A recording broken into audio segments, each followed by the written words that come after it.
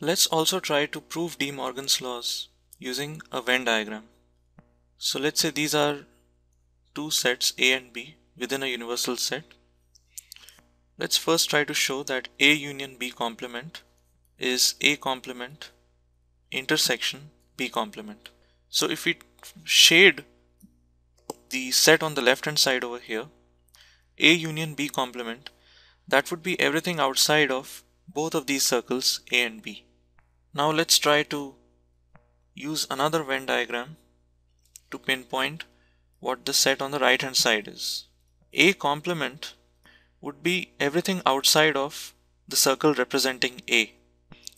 So there are two regions outside of the circle A. The first region is the region outside of both circles A and B and the second region is this green region over here which is outside of A but which is inside of the circle representing B. So regions 1 and 2 together make up the set A complement. Now we want to find out which part of the set A complement overlaps with the set B complement. So let's try to figure this out for both regions 1 and 2. Let's look at region 1. Does region 1 overlap with B complement? Yes, because it's outside of the circle B, so it overlaps with B complement. What about region 2? Region 2 is inside of the circle representing B. So there's no overlap between region 2 and B complement. So the only overlap between A complement and B complement is region 1.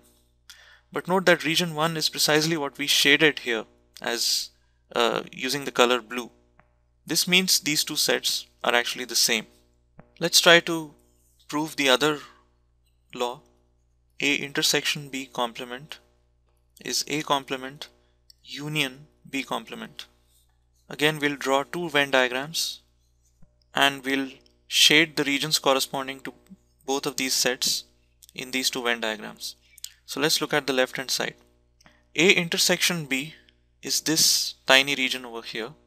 A intersection B complement is everything outside of this black area.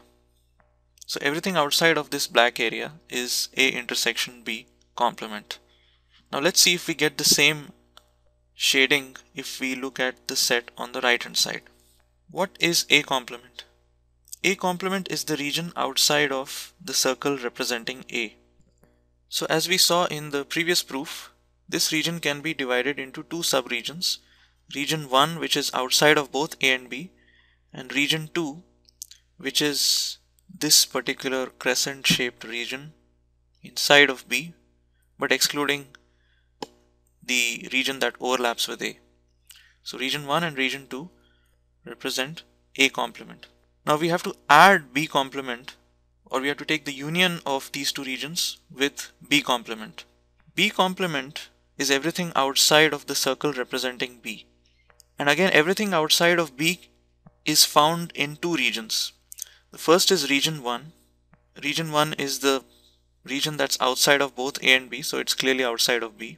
And the other is region 3, which is outside of B, but which is inside of A. So B complement is made up of regions 1 and 3.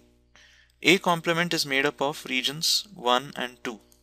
So when we take the union of these two sets, we're going to get regions 1, 2 and 3.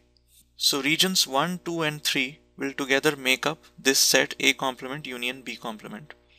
And you can see that these three regions cover everything outside of this shaded region over here. This means that the set on the right hand side is actually the same as the set on the left hand side. So this proves the second of De Morgan's laws.